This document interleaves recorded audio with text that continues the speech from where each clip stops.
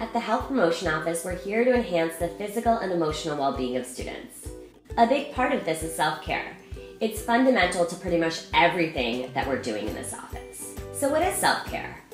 It's actually quite simple. Self care includes intentional actions you make to look after your physical, mental, and emotional health. Have you ever noticed that when you're too busy to eat a well balanced meal, you're not getting enough sleep, or you haven't seen or connected with your friends or family for a while, that things just seem more difficult to manage, your mood may change, or you may even get sick? Self care helps prevent this. It's making time for healthy activities and habits that help you better tackle life. Practicing self care helps us stay focused, reduces stress, and prevents burnout. You're actually probably already practicing self care. You just might not call it that. What does self care look like? Exercising regularly? Wearing clothes you like? Decorating your space to feel like home? Getting enough sleep?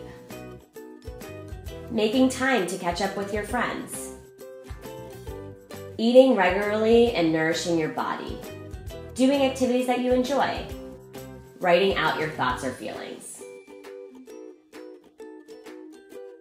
Skyping friends and family, taking breaks, setting limits on work and tasks, listening to inspirational talks, reading just for fun. Listening to a song that improves your mood, or something as simple as just keeping hydrated.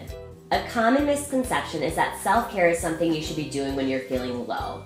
While this is a particularly important time to look after yourself, these activities slotted into your day to day life will improve your general well being. When you engage in self care activities, it prevents you from experiencing emotional and physical health issues. It's all part of creating a healthy and well balanced lifestyle, and that's where we can help. Self care looks different from person to person, and at the HPO, we're here to help empower you to figure out what works best for you. Throughout the semester, we provide information and tips through posters, workshops, and informative videos, like this one.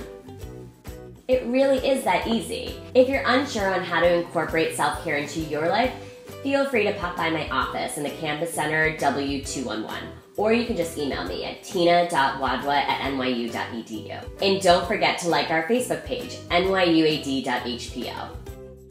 What do you do for self care?